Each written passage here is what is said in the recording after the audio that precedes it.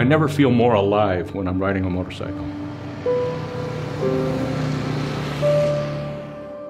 There is, I think, a feel that is shared by people uh, who ride motorcycles, just the hum and the sound and the visceral feeling that comes, the sense of riding and, and, uh, and the passion we feel for it and the community, you know, it's, um, it's far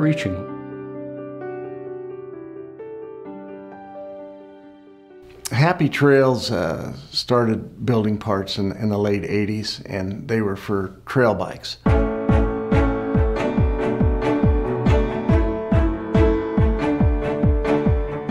Happy Trails to me is unique in the, uh, in, in, the idea that we're a small uh, business, uh, we're um, a family owned business, um, and all of our employees are family to us. You know, the, the thing I enjoy most about Happy Trails is that there is um, a passion for the sport.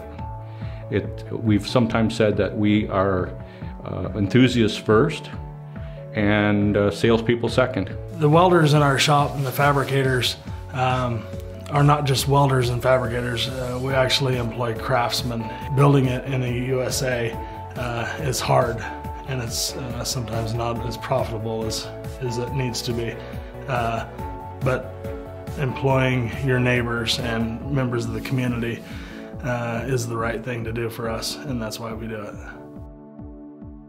You know, people ask, why do you do it? Uh, you know, I've broken uh, toes, broken fingers, uh, I've uh, uh, ruined a knee doing it, two shoulders. yeah, where are we going from here?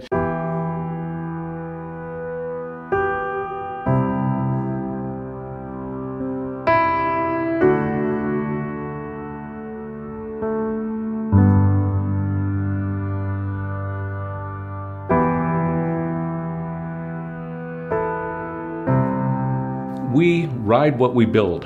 So there isn't a product that we have that hasn't been through different iterations. We only want to ride something that we have absolute confidence in.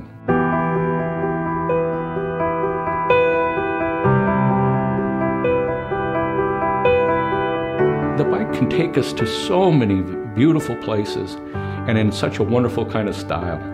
It has so much versatility. I mean, we have rides that some people just can't even imagine right at our doorstep. Motorcycling is a, is a community. So the outlook that, that we have through Happy Trails is building a healthy community.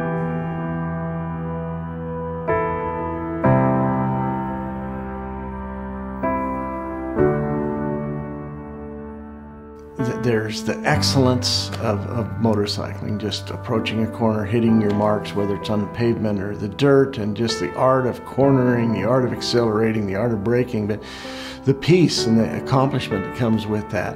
And you just get this uh, completion in your life that, that I know that, that I'm there and that nobody else is experiencing what I'm experiencing in that moment. You're experiencing that. Nobody else but you